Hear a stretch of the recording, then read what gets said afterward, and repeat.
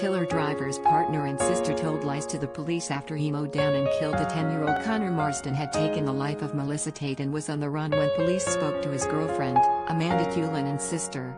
A court heard they provided false information and lied that he had not been in their company after the fatal collision in Kenton. The police investigation was frustrated by the lies of the pair as officers hunted the driver who had failed to stop and abandoned his car after prosecutor Graham O'Sullivan told Newcastle Crown Court. Both defendants deliberately lied to the police to protect the person they knew had been driving the car that day, which impacted the investigation at a crucial stage. Even when they had the opportunity after being told of Melissa Tate's death, they chose to persist in their attempts to mislead and obstruct the investigation. The court heard Marsden ran to Teulon's then home on Hillsview Avenue, Kenton, after the collision, and went in for a matter of seconds before coming out, followed by Teulon and McGlen. CCTV showed Teulon get into a Vauxhall Astra to go and check what was happening at the scene of the impact, while Marsden and McGlen looked agitated. Marsden was then seen throwing an object towards his sister, which she put in her pocket. The court when Teulon returned, the two women went inside before McGlen later left.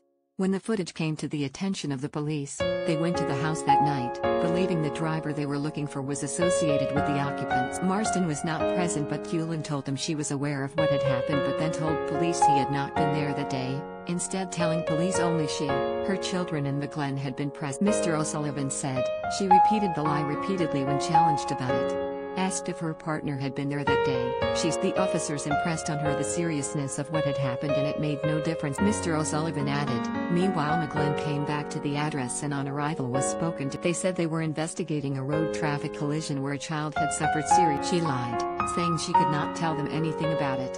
She was recorded on CCTV with the suspected driver but denied it. She forcefully protested it was not her. Her denials were so resilient the officer returned to the neighboring property to view the footage again and was left in no doubt it was her. She continued to deny it was her. Several times it was explained how serious the matter was. The officer was left incredulous about how unconcerned both of them were about what had happened on the street that when police received information the driver was called Marzi, McGlen denied knowing anyone by that name and when told she could be convicted of perverting justice if she lied, her denials continued. Mr. O'Sullivan added, Tragically, Melissa died the following day.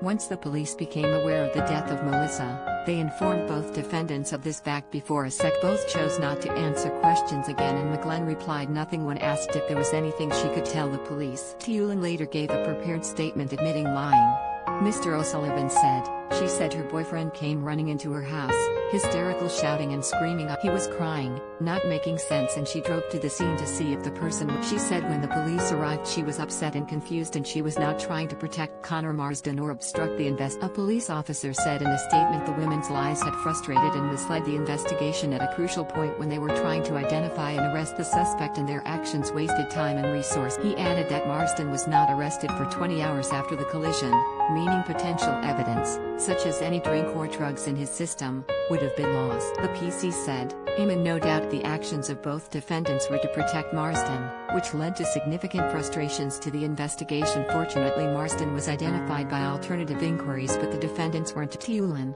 32, of Parkview, Walker, Newcastle, and McGlen, 29, of St. Oswald Avenue, Walker, both admitted attempting to pervert the course of justice and were both sentenced by recorder Jonathan Aitken to 12 months suspended for two years with two-month curfews. Brian Hegarty, for mother of six Teulon, said she expressed remorse for the family of Mal. He said she didn't send the police chasing down an avenue that was wrong and that her instinct was to lie because she didn't want to become involved as a witness in the proceedings. Mr. Hegarty said, rather than a wish to assist Marsden, it was more out of fear of becoming involved that she lied to the police in the way she died, which she very much regrets. He added that she and McGlen had to move out of the Kenton area and taken their children out of the school they were in due to the reaction of the local community. Fiona Lamb, for McGlen, said she was genuinely remorseful, accepts full responsibility for her actions and has said it's a total nightmare that Melissa's family will never be able to free themselves of and is very much sorry. Miss Lamb added that she has three children, including a baby and a child who has serious health issues. She said that having moved,